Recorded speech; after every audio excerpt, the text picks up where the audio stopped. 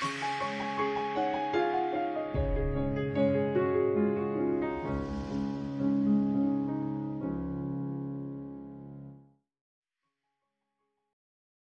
い、それでは今回は Adobe Stock から約7万点もの無料素材をダウンロードできるサービスが開始されたということでその情報をシェアしていきたいと思います。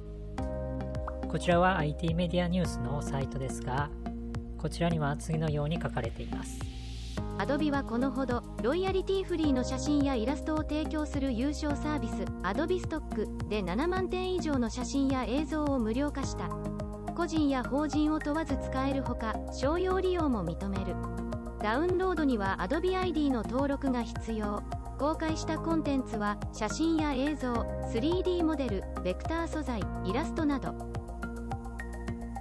ということで10月中旬以降このサービスが開始できるようになりましたので実際に写真をダウンロードしてみたいと思います。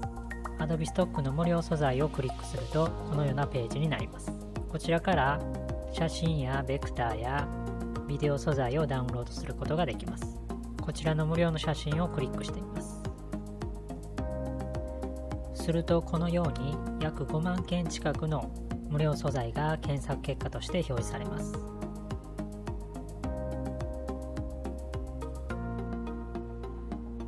では試しにこちらの写真をダウンロードしてみたいと思います写真にマウスを載せると無料と書かれた表記と右側にライセンスを取得という表記が表示されます。こちらのライセンスを取得をクリックします。するとライセンス取得済みになりまして自動的にダウンロードが開始されます。このように簡単にダウンロードすることができます。また一度ダウンロードした写真については右肩の方に My Library という項目がありますのでこちらをクリックしてライブラリーをクリックするとこれまでダウンロードしてきた一覧を確認することができます。